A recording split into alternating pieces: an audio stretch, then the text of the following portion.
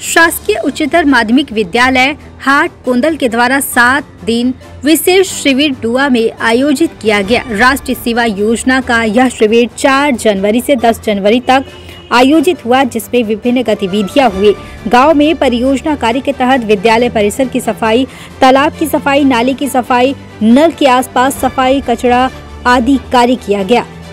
जिला पंचायत अध्यक्ष श्री हेमंत ध्रुव ने समापन समारोह में उपस्थित स्वयं सेवक सेविकाओं, स्कूली बच्चों एवं ग्रामीणों को संबोधित करते हुए कहा कि राष्ट्रीय सेवा योजना का उद्देश्य छात्रों में व्यक्तित्व विकास के साथ राष्ट्र सेवा हेतु प्रेरित करना है। आपको युवाओं के प्रेरणा स्रोत स्वामी विवेकानंद जी के बताए मार्ग पर चलते हुए जन जागरूकता का कार्य करना है। श्री हेमंत ध्रुव ने ग्राम वासियों से कहा कि राष्ट्रीय सेवा योजना के स्वयं सेवक सेविका केवल यहाँ जागरूक करने आए हैं। बाकी सब गाँव के लोगों को ही करना है।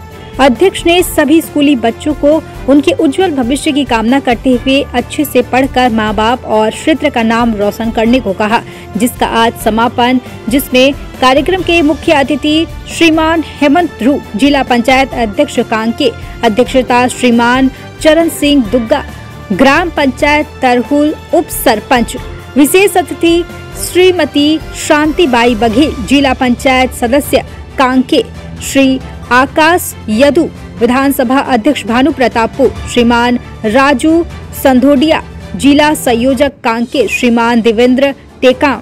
हाट कोंदल एनएसएस के प्रभारी श्री शोभित रामपाल, श्रीमती रुखमंडी सोरी, श्रीमती वंदना ठाकुर, ग्राम के गणमान्य नागरिक एवं स्वयं सेवक उपस्थित रहे।